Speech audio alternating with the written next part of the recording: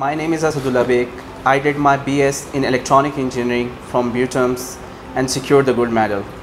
I joined Leaders Odyssey School and College in 2021 as a mathematics teacher. I am proud to be one of the pioneer faculty members of Leaders Odyssey College. My future plans include the incorporation of technology in mathematics and working on Education 4 and Education 5 technology. Thank you.